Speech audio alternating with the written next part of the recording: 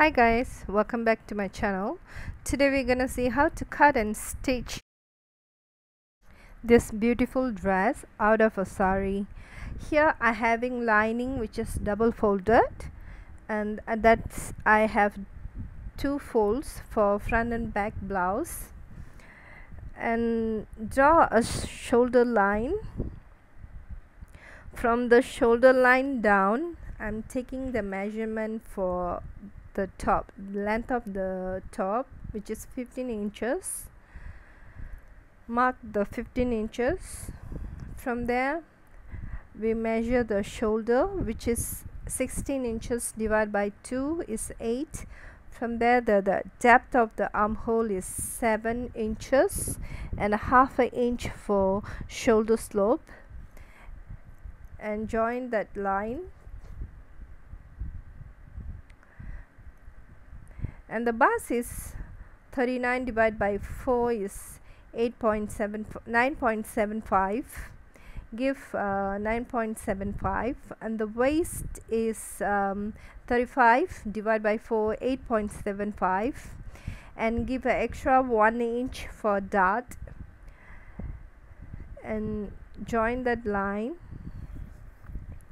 Now we're gonna give the uh, front armhole so which is we will give um, extra 1 inch inwards.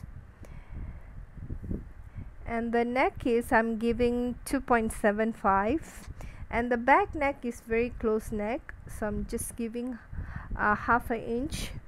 And for the front is um, I'm giving 4.5 which is a close neck uh, also.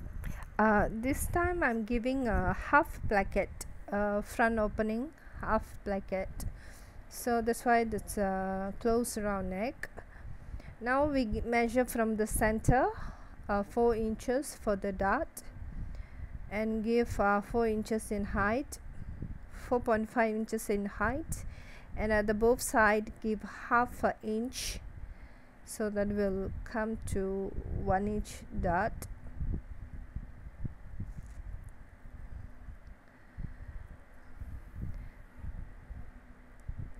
then draw the armhole curve.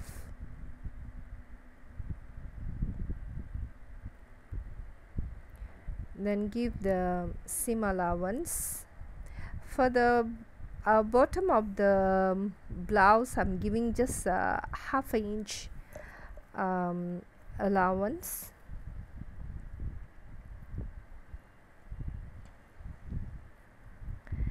And we can cut. And don't forget to draw the shoulder slope. And when we cut the armhole cut the back armhole and leave the front arm armhole. That we can cut later. Um, and this is uh, how we transfer all the lines to other side of the blouses for the front and back uh, this already explained in my other videos. And for this lining I'm using Habutai. Habutai is actually um, uh, polyester silk and it's in uh, lightweight.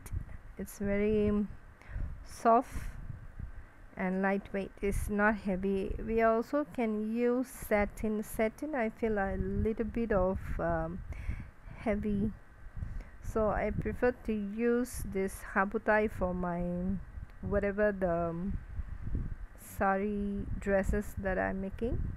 This is for the sleeve sleeve I already have double folded this and taking the length of the sleeve. And the cap height is uh, 4 inches. The underarm measurement is 8 the wrist I'm giving 5 inches. And join that line and we give the extra seam allowance. And that's the um, sleeve curve for the front and back. We also can cut this. So when we cut the sleeve curve cut the back sleeve first and cut the front sleeve. For cutting the front sleeve curve we can open it up or we cut in between the two layers and this is for the A line um, lining skirt uh, inner skirt. For the inner skirt I'm getting the waist measurement. You know from the the blouse height is uh, the blouse length is 15 inches. From 15 inches down to 22 inches that's the hip line measurement make a line at the hip line measurement.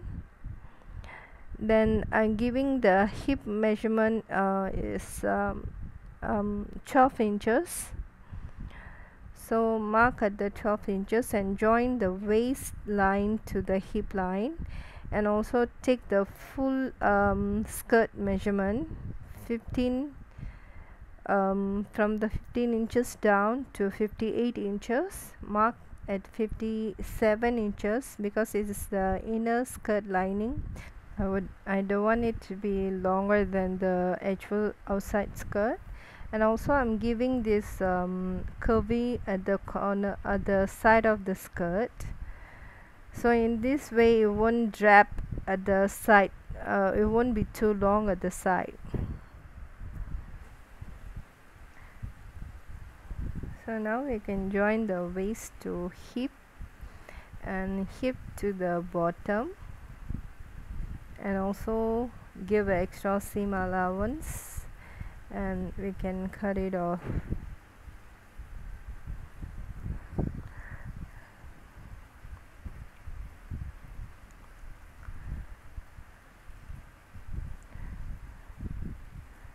so now we will transfer all the lining to the sari. The sleeve I'm using the border uh, side. So the border side is actually the darker tone. So I'm using because I want to use the uh, border at my sleeve. Then for the top I'm using the top side of the sari which is a different tone and pin it together. Then we can cut it off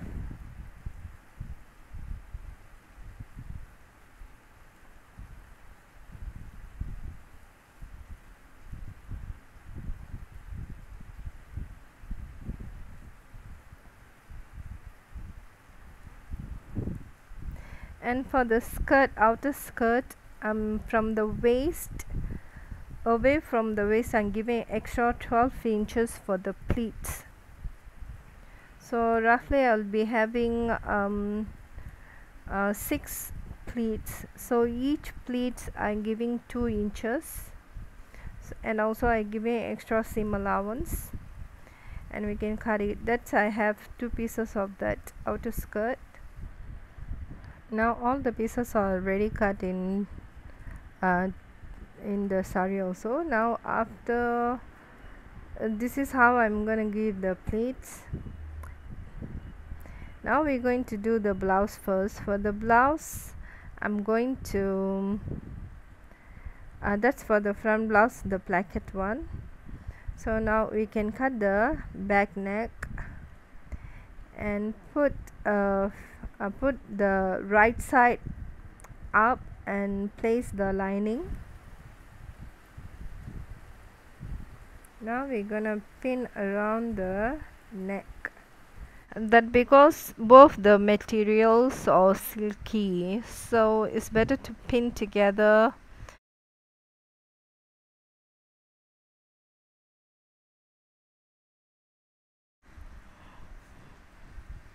now we can sew around the neck.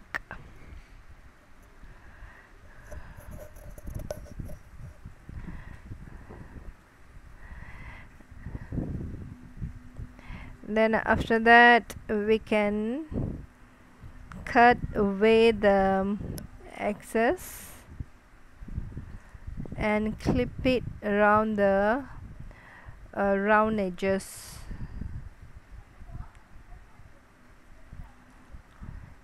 then flip the fabric to the right side. And we can do a top stitch around the neck.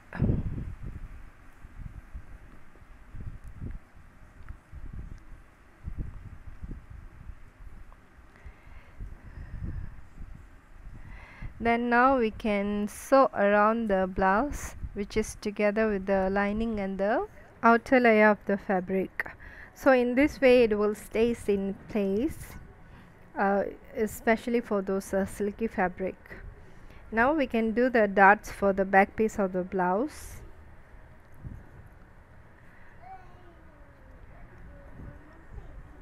Once the back piece is done the darts are done we can move on to the front piece of the blouse.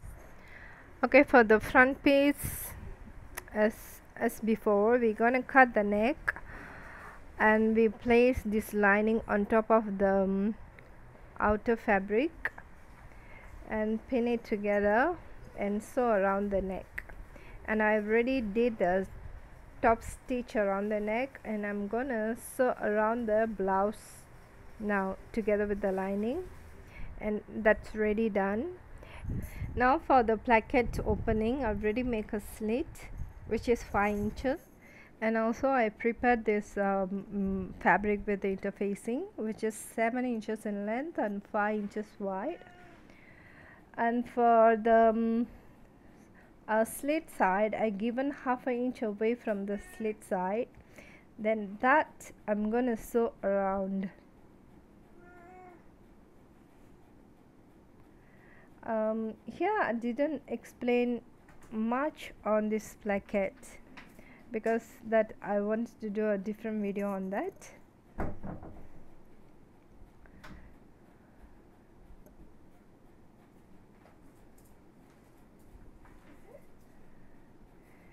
And for now we can cut away a quarter inch on the slitted side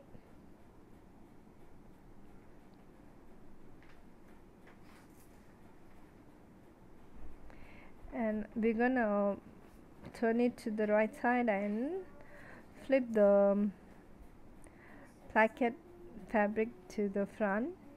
And uh, that we're gonna press that side and fold and stitch along the side until to the slitted side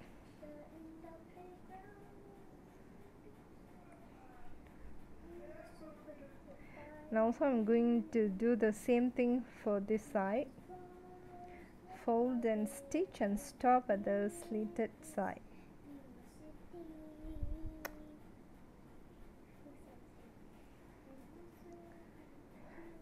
And now both sides are already done. And for the extra pieces I'm going to cut away some um, fabric from the other side the inside of the placket and make sure not to cut uh, cut the triangle part. And carefully cut away the fabric. Now we can fold and stitch that uh, corner. Actually I'm folded here the square end. We also can fold the chimney type. Now the plackets uh, is ready done so later I will sew buttonholes on one side and do the buttons. Now we can stitch the shoulders together. The shoulders are already done. Now uh, we prepare this uh, sleeves. For sleeves I'm going to face the right side up and placing on top the lining and I'm gonna stitch along the edge.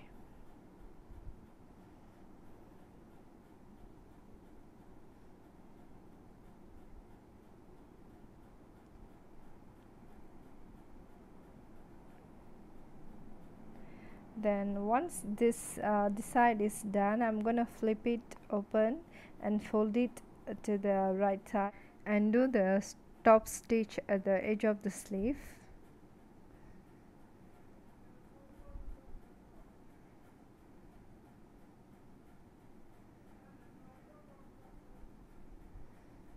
now we're gonna sew around the fabric the first layer of the fabric and the lining together.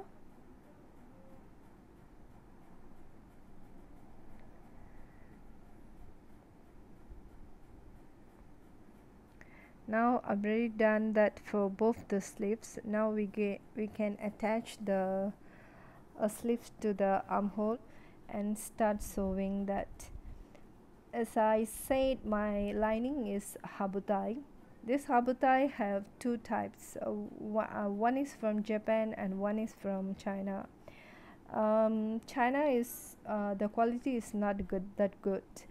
But the Japan one is really nice smooth and silky. If you're getting one for yourself um, try to get the Japanese one.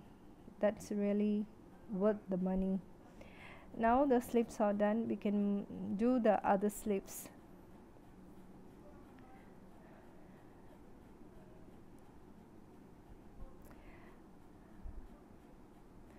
For the satin also is the same. The satin they have Japanese one and the Chinese one. Now the sleeves are done. Now we can uh, do the pleats for the skirt.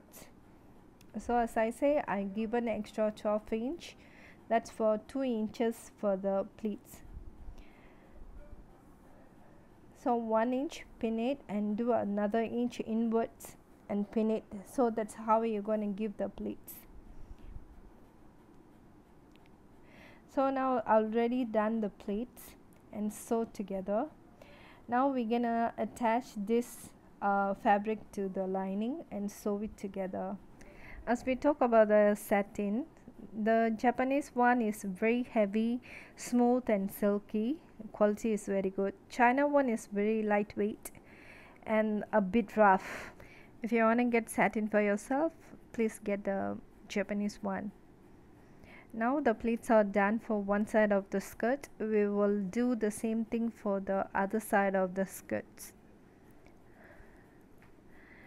so this above the skirt it will get the equal amount of um, pleats now the uh, pleats are done. Now we're gonna attach the skirt to the waist part of the uh, blouse and stitched uh, stitched together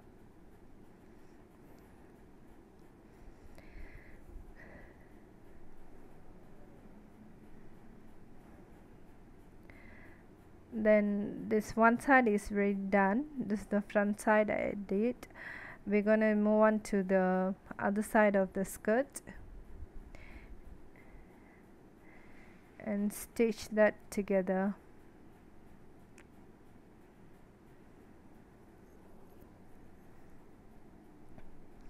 Now it's already done. The sleeves is done and the skirt is ready done. Now from the wrist down to the hip. Uh, from the waist to the hip is 10 inches. Mark the 10 inches at the hip line that's the hip line. So mark that. Then actually we're going to sew that side from the wrist to the hip line. For the sleeve from the wrist to 7 inches do a mark that's where I'm going to insert uh, um, insert a zip. That's for a voodoo friendly dress. So mark that 7 inches. From that 7 inches all the way to the hip line we're gonna sew. Before sew make sure the hip line and the armpit line are matches together. You can pin it so we will get the after stitching we will get that um, line aligned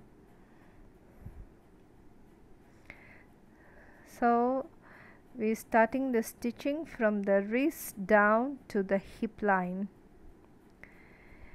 So for this uh, from the where we stop the stitching at the hip line take away this lining move away the lining from in and out uh, top and bottom of the lining. And that end of the stitching we're to stitch along the outer layer of the skirt. So from the hip line down to the bottom of the skirt we're doing a straight stitch. So that will give a, a two uh, separate skirts lining separate and the outer skirt separate. From the stitching line we're gonna make a slit nearer to the stitch line.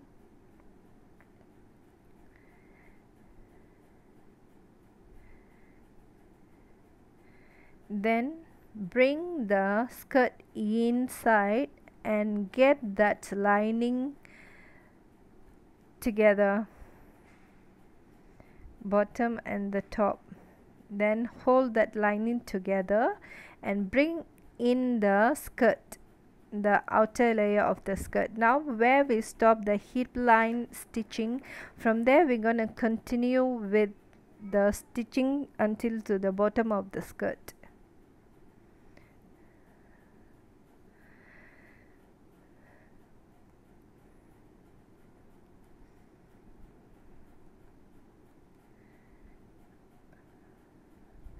okay now the stitching is done. This is the outside look. If you see from outside you cannot see anything. That's the hip line stitch stop. But from inside we have two separate uh, skirts. Top layer and the uh, bottom layer. So now we're going to do the other side of the sleeve get that 7 inches mark. From this 7 inches to the armpit we're gonna stitch until to the armpit only. So under the arm now again we getting this uh, hip line 10 inches. From the waist to 10 10 inches do the marking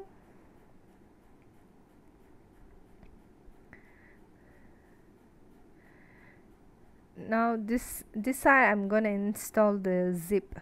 So this zip is from the armpit down to the hip line the 10 inches. That's where we're gonna sew. This is the armpit. Uh, that's the armpit line. So that's we're gonna mark where the zip gonna starts. So the zipper starting line will start from that line. So get this zipper. Make sure the zip teeth are facing inside of the dress and the raw edges of the zip and fabric face same side. Then we can start stitching.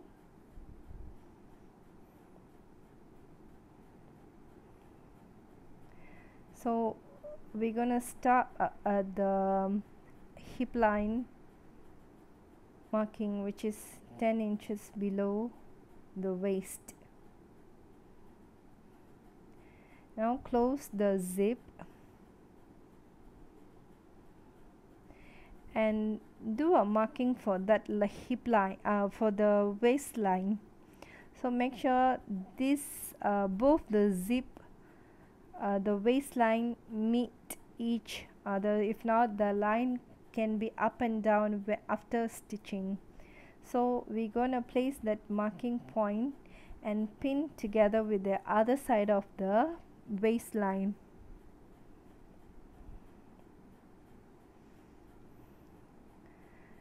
Pin it and now we can start sew the other side of the zip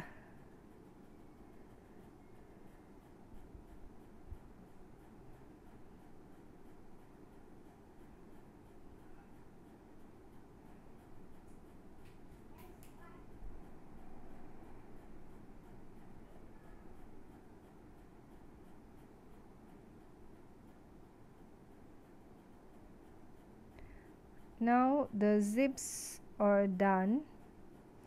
If you see here you can see the zip. The waistline is matches the front and back and this the zip opening there. It will stop at the hip line. So now we're gonna do the stitching hip line below we're going to stitch like uh, we did before. Hold that outer layer of the skirt together. And where the zip stops then we're going to start the stitching from that.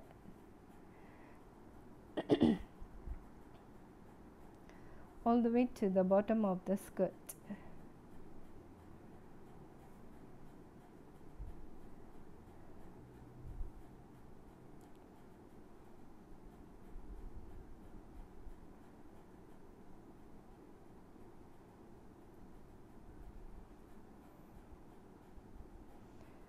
and now we can cut away the extra zip and stitch uh, do a stitching at the end of the zip so the when you open the zip can uh, won't uh, slide off.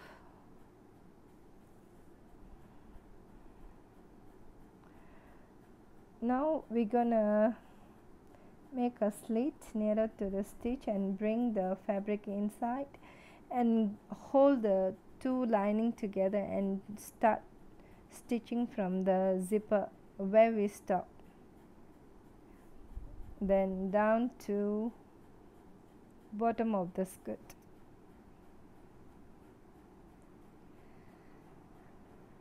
Now the skirts are ready done already stitched both the side and we already installed the side zip. We're going to install the sleeve zip. Again I'm gonna mark that where this uh, zip gonna start.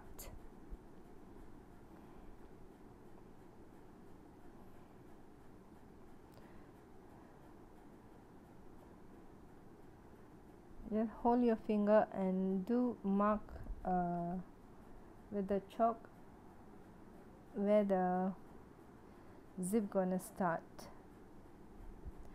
so like um, we did before the teeth is facing inside the raw edges of the fabric and the zip meet together and we will start sewing that.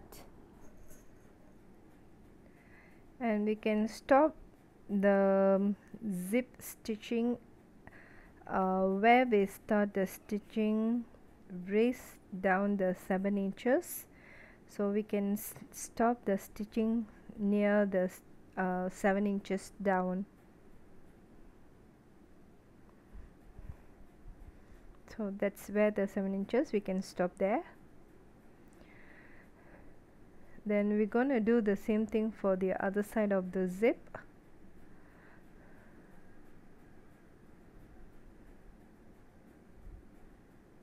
Make sure the zip is correct then hold it there and stitch the other side of the zip and stop at the 7 inches there.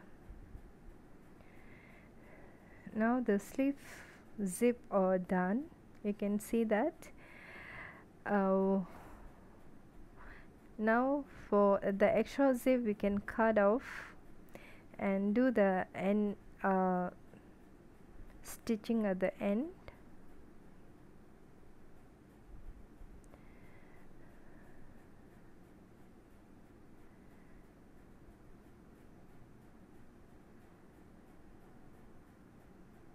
now for this extra we can fold it inside and do a stitching along the side. Once that side is done we will do the other side of the sleeve. We'll do the exact same thing as before. The teeth are facing inside. The raw edges meet both same now the other side of the sleeves are done. Now we're going to fold the bottom of the lining skirt fold and stitch.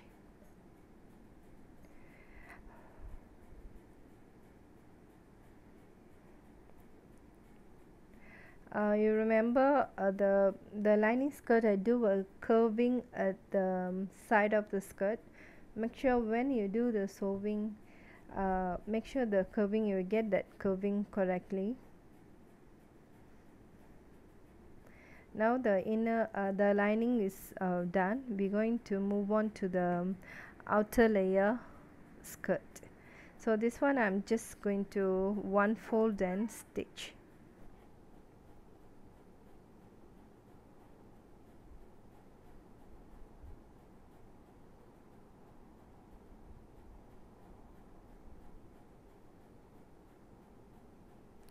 now uh, the skirt is uh, the dress is completely done. And if you see um, my pleats and the um, sleeve uh, side zip that's for Budu friendly. Um, and the side zip